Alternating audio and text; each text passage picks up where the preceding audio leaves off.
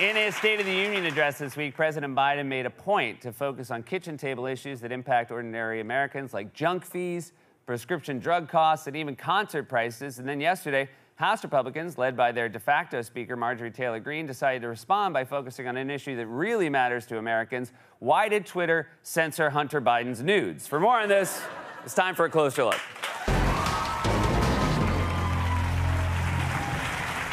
Say what you want about Biden, but on Tuesday made a clear choice to focus on economic populism as the predominant theme of his speech. He talked about everything from breaking up big tech monopolies to capping the price of insulin, eliminating junk fees at hotels and airlines, and even cracking down on inflated ticket prices for concerts. Look, I don't know for sure, but I'm starting to think Joe Biden might be a secret Swiftie, just sitting at his computer, just refreshing Ticketmaster over and over again. Mr. President, we need you in the situation room. Haul your horses. I'm number 8,000 in the queue. I think I, I think I got a shot. Oh, Taylor, look what you made me do. In fact, there were even times when it seemed like Biden was maybe taking some rhetorical flourishes from Donald Trump, but instead of just talking out of his ass like Trump does, Biden was backing it up with actual policy. Tonight, I'm announcing new standards require all construction materials using federal infrastructure projects to be made in America. And on my watch, American roads, bridges, and American highways are going to be made with American products as well. My economic plan is about investing in places and people that have been forgotten. Too many people have been left behind and treated like they're invisible. Outside of Columbus, Ohio, Intel is building semiconductor factories on a thousand acres Last year, I cracked down with the help of many of you on foreign shipping companies that were making you pay higher prices for every good coming into the country. Americans are tired of being, we're tired of being played for suckers. Biden basically took Trump's rhetorical shtick but backed it up with actual legislation. He even released it as a single called State of the Union Joe's Version. The other difference is Biden did it without going on a bunch of insane tangents and exaggerating how many jobs he was creating. If that had been Trump, that speech would have been twice as long and he would have gone off script after every line. Intel is building a factory in Ohio. They were going to build it in China, but then I became president and I called up the CEO. His name is Chip, Chip Intel, and I said, I said, Mr. Intel, you better build that factory in Columbus. Columbus, we love Columbus, don't we? We love it. Named after the great film director Chris Columbus, he made he made the movie Home Alone 2, Lost in New York, a movie I originally, I originally started. They cut most of my scenes. It was very.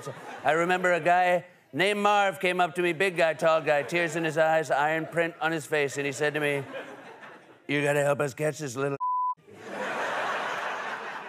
And in particular, Biden focused on a bunch of real problems that people face every day, like, for example, the high cost of essential medications or hidden fees. We capped the cost of insulin at $35 a month for seniors on Medicare.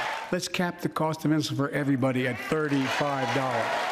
My administration is also taking on junk fees. We're making airlines show you the full ticket price up front.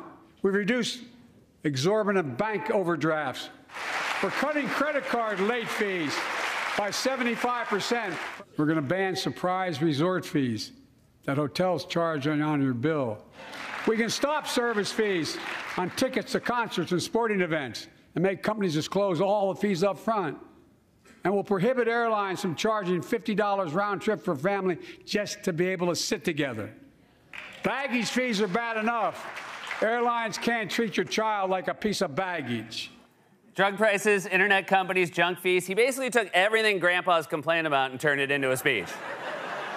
Why do they make thermostats that go all the way up to 77? Folks, we're gonna cap it at 68, and I'm mailing every American a sweater.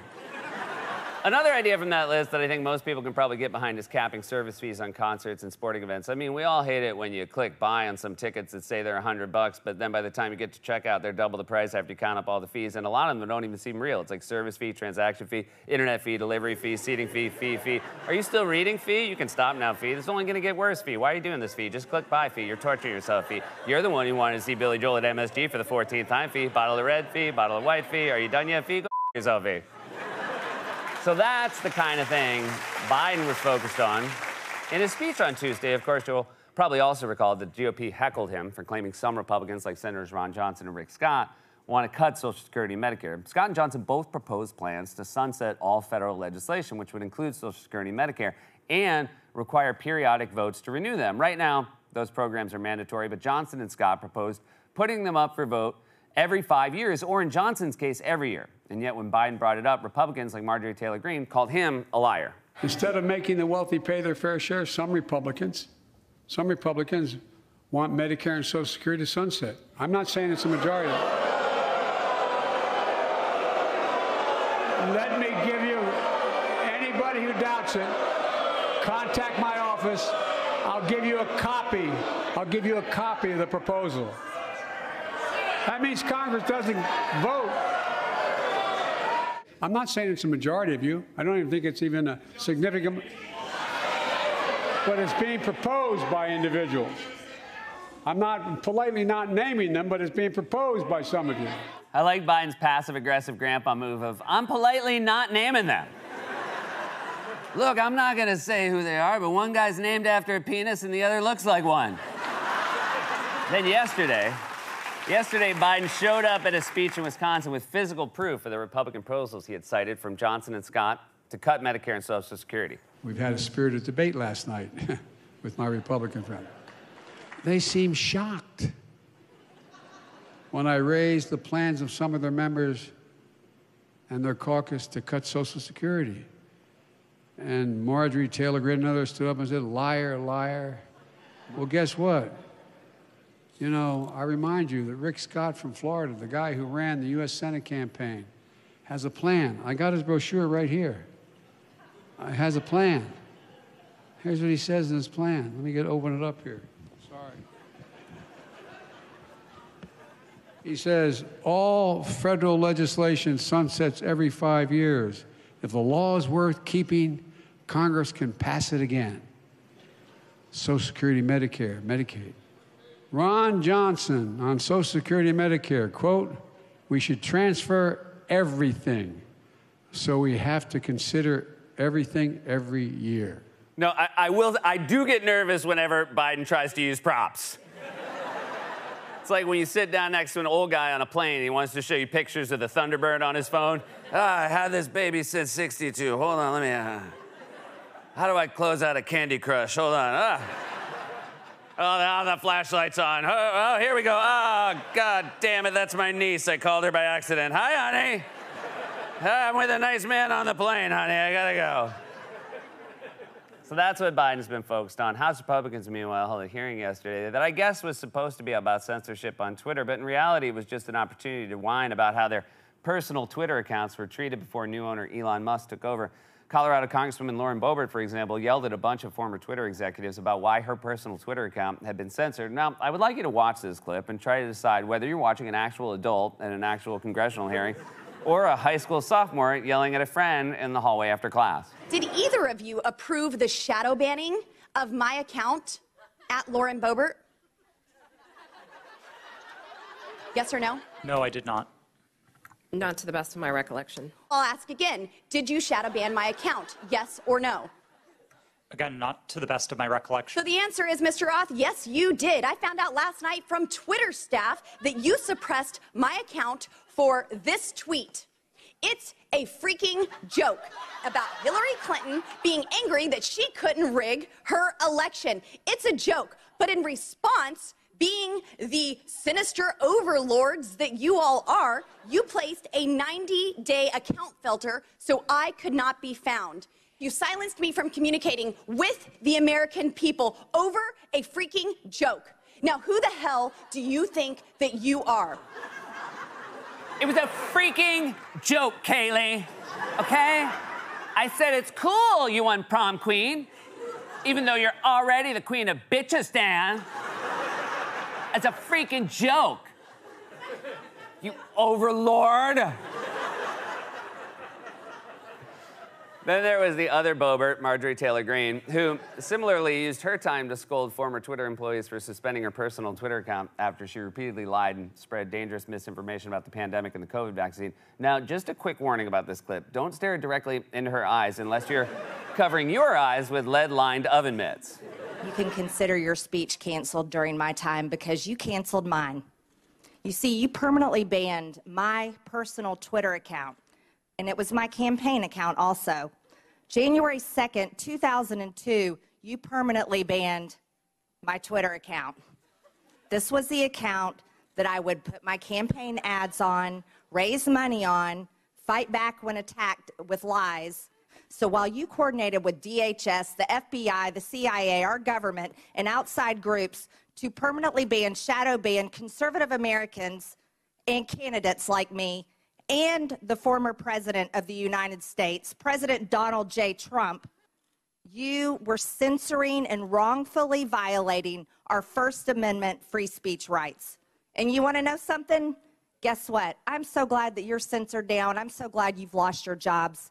Thank God Elon, Elon Musk bought Twitter. The one cool thing about a Republican led congressional hearing is it answers the question what would Twitter look like if it was a physical room? also, nothing says I'm a champion of the working class like I'm glad you lost your jobs when the richest man in the world bought the company you worked for. You know, Greene might actually benefit from Biden's new policies on airline fees because she's clearly carrying a lot of baggage. But so what? You might be thinking maybe Boebert and Greene are a little self-obsessed, but surely the other Republicans in the room got down to the real issues at some point, like if Twitter had colluded with the Biden campaign in 2020 to have content they didn't like removed from the platform. Now that might sound damning to you until you find out that one, it didn't happen, and two, what the specific content in question actually was. Over my right shoulder, we have an email reference. This is this is Saturday, October 24th, uh, 5:39 p.m. Referencing five different tweets. Is the, uh, with a Twitter email chain. Under the line, it's more to review from the Biden team. Do you know how many tweets were actually flagged and taken down at the behest of the Biden team? I wouldn't agree with the characterization of it as being at the behest of them. These tweets were reported, and Twitter independently evaluated them under its but rules. The, but, the, but the email is very clear. More to review from Biden team. The response three hours later at the bottom, hold this up real quick so we can see. The request at the bottom it says, handled these. What does handled these mean?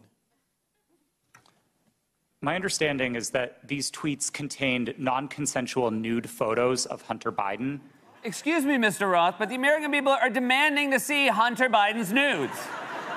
and you better not make them pay to see it. There's nothing worse than expecting a free peek at male genitals only to find out there are hidden fees, AKA junk fees. Now,